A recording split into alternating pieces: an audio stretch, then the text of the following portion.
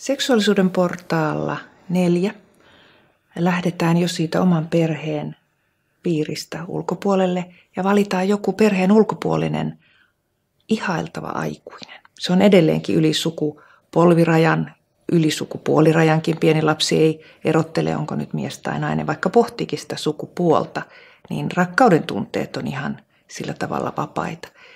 Otetaan joku idoli tai, tai muuten arvostettu aikuinen, se voi olla opettaja tai harrasteohjaaja tai, tai joku tärkeä henkilö, jota usein suurempikin lauma lapsia voi ihailla ja rakastaa ja pohtia.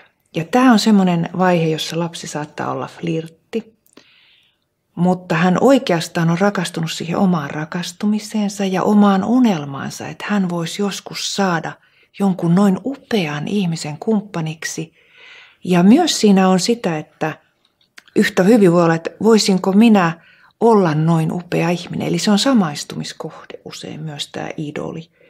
Mutta hyvin voimakas semmoinen ihailemisen ja ihastumisen tunne siihen liittyy. Se voi olla myös niin kuin syvää rakkautta, jolloin se on rakastumista siihen omaan rakkauden tunteeseen.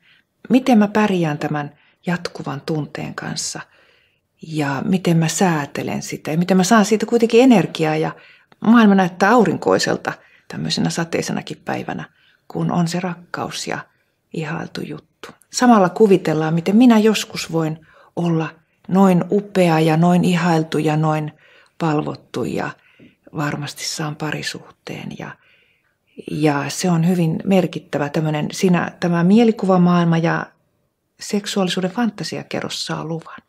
Jälleen aikuisen hyväksyntä ja aikuisen arvostus sille lapsen ihastumiselle on tosi tärkeää.